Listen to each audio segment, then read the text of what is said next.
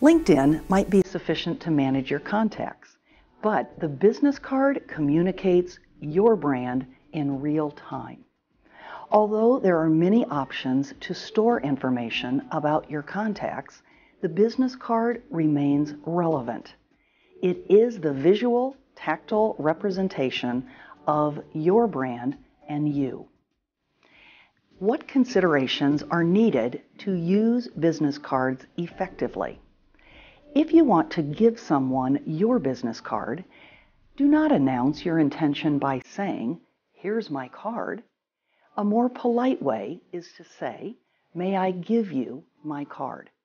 This is a permission seeking question that registers agreement. That feels better to the receiver than just having a card shoved at you at the will of the giver.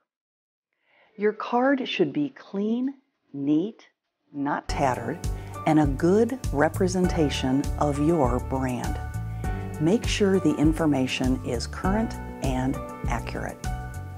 When giving a card, make sure the print is facing the receiver.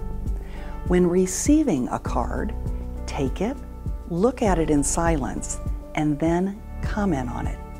You might say, Oh, tell me about your logo, or I didn't know you were located in Chicago. Never write on it in the presence of the person who gave it to you. It is acceptable in the United States to store cards in a wallet or a purse. Investing in a card case to safely store your cards, as well as those you collect, is wise. Here are a few additional tips. Always carry your cards. You never know when someone will ask for yours. Never ask to give your card to someone of a higher level than you. Wait for them to ask for your card.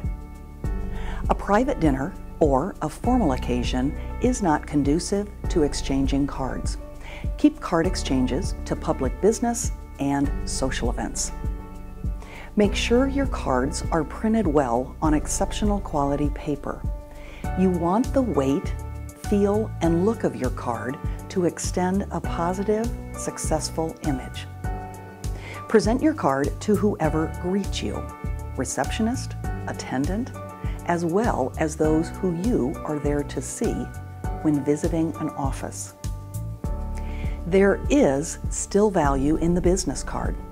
Used wisely and well, it remains a relevant tool to represent you and your